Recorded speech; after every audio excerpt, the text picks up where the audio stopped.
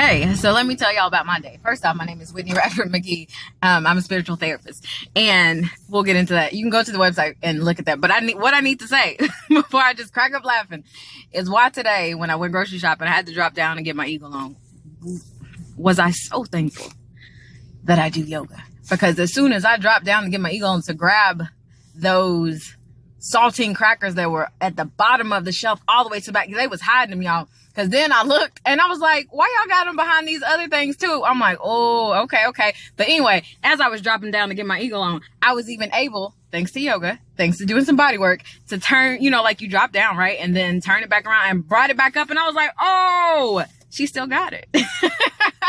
she still got it. So shout out and thanks for that hip opener that, uh, classes, two hip opening classes that I took because they allowed me to drop down, get my eagle on, and not wobble whenever I got back up. Oh no, we were strong. We were strong when I got back up. I'm like, see, that's what that, that's what, that's what yoga will do. that's what movement will do. Period. That's what working out will do. Period. But, um, anyway, and if you're like, what the hell is drop down, get your eagle on?